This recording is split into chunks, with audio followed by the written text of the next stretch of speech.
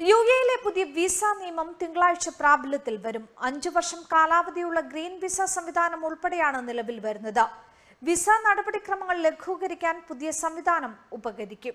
പ്രഗത്ഭരായ വ്യക്തികളെയും പ്രൊഫഷണലുകളെയും രാജ്യത്തേക്ക് ആകർഷിക്കാൻ ലക്ഷ്യമിട്ട് വിസ സംവിധാനത്തിൽ സമഗ്രമായ മാറ്റമാണ് യു എയിൽ നടപ്പിലാക്കുന്നത്.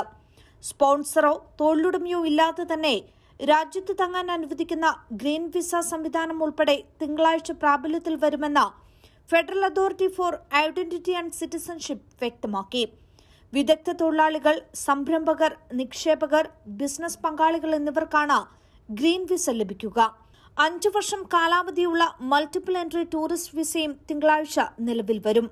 മൾട്ടിപ്പിൾ എൻട്രി വിസ സമാന കാലയളവിലേക്ക് പുതുക്കാനും പുതിയ നിയമം അനുവദിക്കുന്നുണ്ട്.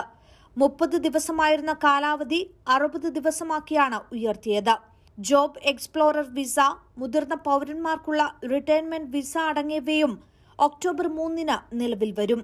പുതിയ വിസ നിയമപ്രകാരം ഗോൾഡൻ വിസയുടെ നടപടിക്രമങ്ങൾ ലഘൂകരിക്കുകയും കൂടുതൽ മേഖലകളിലേക്ക് വ്യാപിപ്പിക്കുകയും ചെയ്തിട്ടുണ്ട്.